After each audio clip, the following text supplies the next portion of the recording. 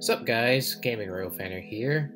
On this new series of Engines of Go Transit, I'll be talking about the MPX MP40PH. This is a new series that I'll be talking about. Similar to Amtrak Guide 365's Engines of Amtrak series, I'll be talking about Go Transit's locomotives. The Government of Ontario Transit, or better known as Go Transit, is the commuter railroad that serves Ontario, Canada, specifically the Golden Horseshoe. It was founded in 1967 as an alternative to driving from the suburbs to downtown Toronto. In the years since its inception, Go Transit and other agencies across North America relied on slightly modified freight locomotives to haul its trains. Around the 1960s and 70s, the age of the streamlined E and F units were gone. However, Go Transit in its uniqueness still used them along with the EMD GP40TC, GP40-2W, and other freight locomotives. The reason they rather used freight locomotives was simply because it was easier to modify a freight locomotive rather than build a passenger-only design, and if the agency were to go bankrupt, the locomotives could easily be sold off to freight railroads, and at times could even lease them to freight railroads whenever they needed power. In the 1980s and 90s, some passenger locomotives had wide body cab noses. This was the aesthetic of the day, and it was primarily boxy. That brings us to the F59PH. The F59PH was purchased by GO in 1988, as the F40 and other locomotives could not pull the new 10-car train sets for added service. These were good locomotives that did well, However, Go wanted an even stronger locomotive with an aerodynamic cab that could pull even longer trains. In 2005, Go Transit decided to switch from the boxy design to a more aerodynamic design. They contracted with Motive Power Industries, or MPI, to build 27 new MP40PH-3C locomotives in order to expand its fleet and begin replacing the F59PHs, which were nearing 20 years of age.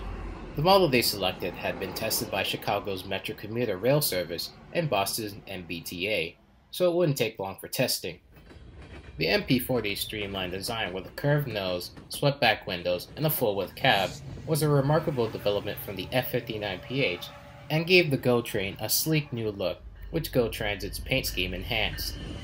The order was in batches, with the first order being 27 locomotives numbered 600 to 626, the second order being 20 locomotives 627 to 646, the third order being 10 locomotives 647 to 656, and the last order being another 10 locomotives 657 to 666. Although the MP40s were stronger, it came at a cost of speed compared to the F59PHs. It was only able to go 93 miles an hour, but that didn't really matter as only two GO lines, Lakeshore East and West, could reach that speed. The locomotive length was 68 feet, or 20.73 meters. The height of the locomotive was 15 feet 6 inches, or 4,720 millimeters.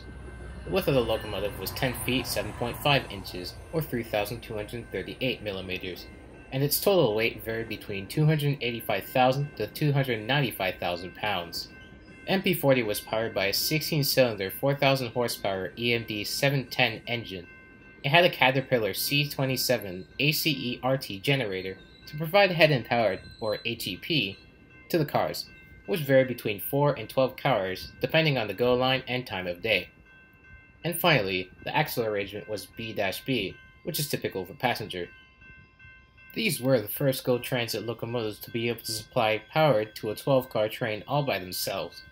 The locomotive's body design also meant that it was more fuel efficient and aerodynamic, and its engine was more environmentally friendly than other GO Transit locomotives. In 2015, GO 647 went back to MPI to become an experimental Tier 4 MP54AC. Initially, the deal was for MPI to convert 10 of the MP40s into MP54ACs. Initially, the deal was for MPI to convert 10 of the MP40s into MP54ACs if the prototype conversion was successful. However, Increasing service demands led Metrolinx to order 16 brand new MP54AC locomotives numbered 667 to 682, keeping the remaining MP40s unmodified. Once delivered, the new MP54ACs will replace the remaining F59PHs in service, which today still has not happened. The MP54AC is the latest MPI locomotive.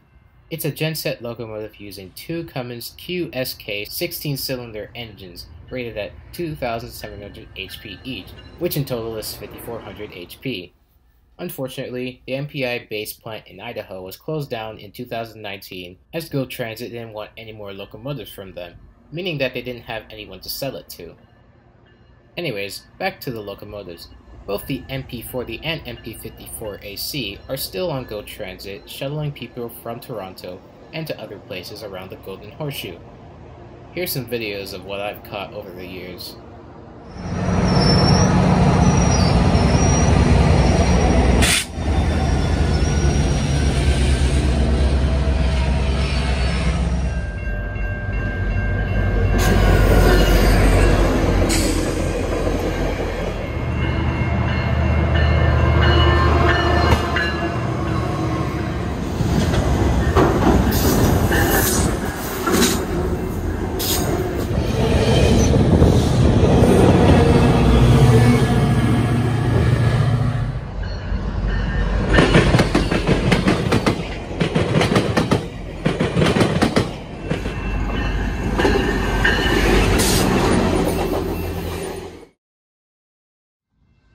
The MP40s and 54s are a sharp departure from Go Transit's generic look of former locomotives.